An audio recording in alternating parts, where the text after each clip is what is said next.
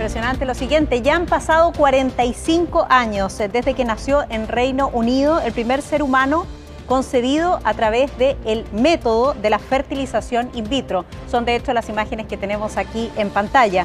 Un hito científico que le devolvió la esperanza a miles de familias en el mundo. Solo por entregarles algunos antecedentes, casi cinco décadas después este tratamiento es cada vez más demandado, debido a que una de cada seis personas del planeta padece efectivamente de infertilidad. Solo en Chile más de 14.000 niños han nacido gracias a esta técnica.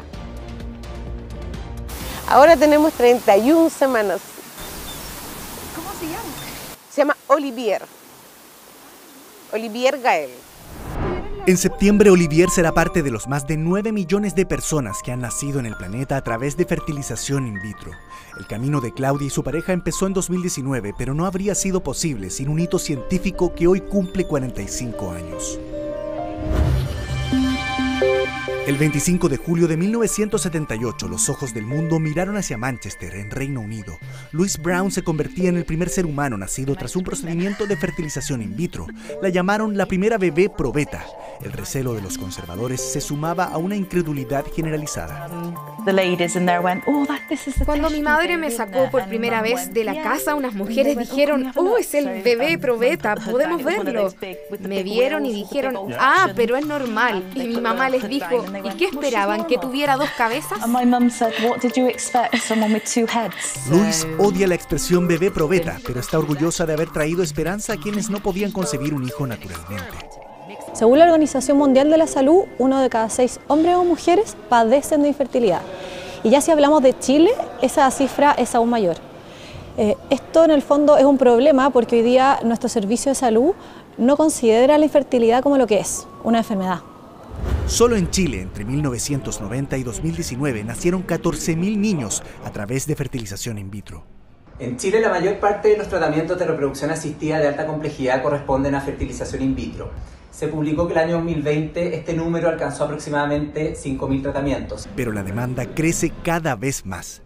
Se han ido incrementando en el tiempo y la principal razón para ello es el incremento de la edad media a la que las mujeres deciden gestar para tener hijos. En nuestro país muchos cargan en silencio con la infertilidad y a esa carga se agrega otra, los altos costos. Debido a eso, Claudia detuvo su tratamiento durante dos años. Nos dedicamos ahorrar. Ahorrar, ahorrar, ahorrar.